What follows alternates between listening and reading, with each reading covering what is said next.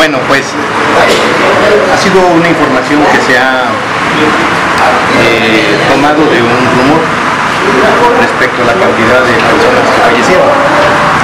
En la sierra hay un problema que viene jalándose desde hace varios días en relación al primero con y ya más recientemente con eh, un asunto que hubo ahí con el ejército. Hasta este momento no tenemos información de que la cantidad de personas que fallecieron sean reales. Ha sido esto a, base de una serie de filtraciones que no se tienen elementos para comprobarlo. Nosotros estamos pendientes, el presidente municipal Tlacotepec nos ha planteado un encuentro, seguramente lo vamos a hacer la, la brevedad posible, eh, a efecto de conocer exactamente qué es lo que ellos están viendo por allá. Eh, hay sin duda un problema en la sierra, no de la dimensión que se ha comentado.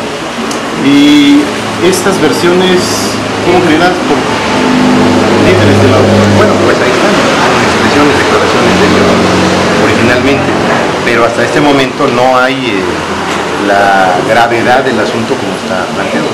Efectivamente creo que hoy, hoy se encontró ayer una persona, eh, pero no es de, del resto, no, no corresponde de otra cosa. ¿Y esto por qué? ¿A qué, a qué lo atribuye usted? Pues es parte también del, del movimiento que se le da en torno a estos asuntos, pero no, no hay una base real. Por mi parte, eh, se ha informado que habrá un, se va a desplegar un operativo de seguridad para Acapulco durante el periodo de vacacional, o bueno, previo a este puente largo y después el periodo de diciembre. Bueno, ya empezó, el, el operativo de seguridad está, es visible. Eh, y va a estar y se va a reforzar eh, a partir del martes con las escuelas. Ayer tuvimos una reunión con el Sindicato Nacional de Trabajo y Educación, el CENTE, que ellos plantearon precisamente el asunto relacionado con la seguridad de las escuelas. Y a partir del martes seguramente habrá un operativo que se va a presentar en un, en un- en un- diríamos en una radio de 120 escuelas.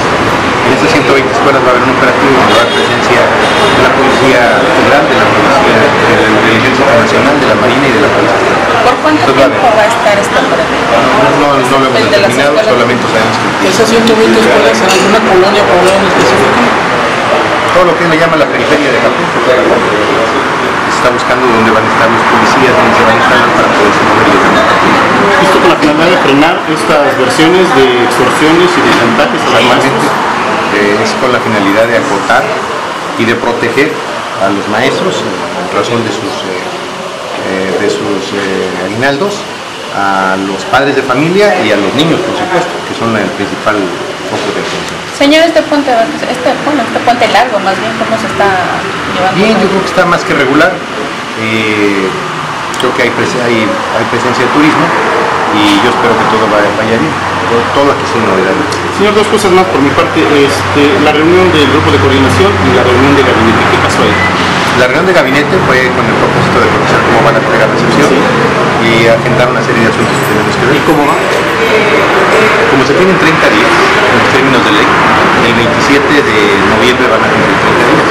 Y lo que quisimos conocer ahorita cómo va, quisimos dar una serie de instrucciones de algunas reuniones que va a haber respecto a transparencia eh, esta, esta semana que va a iniciar y también una serie de giras y dar una normatividad de cómo nos vamos a reunir con el gabinete.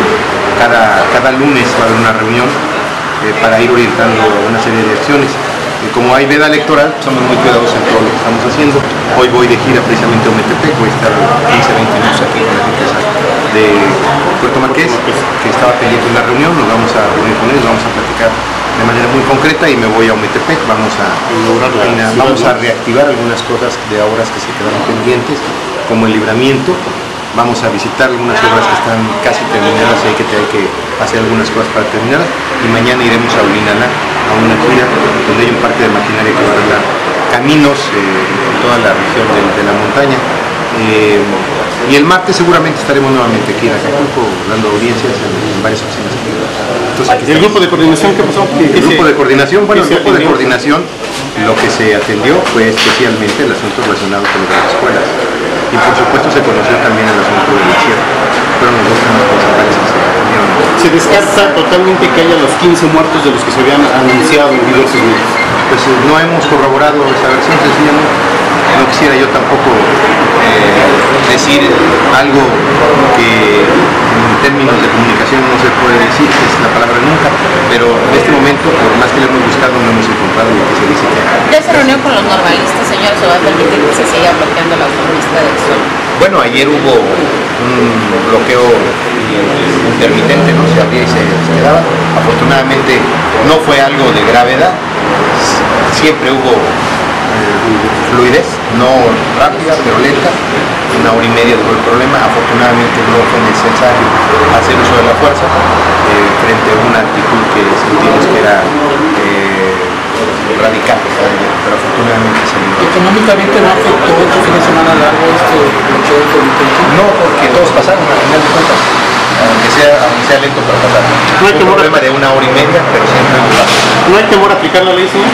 ningún temor. Yo lo que creo es que también hay que ir viendo que las cosas vayan avanzando de manera prudente, puntual y de acuerdo también a lo que convenga. Yo creo que el nuevo gobierno debe ser eh, mucho, muy ubicado en que se aplique la ley, pero también no provocar un, un problema que genere una tensión como las que ha habido en anteriores tiempos. Muchas gracias. Gracias.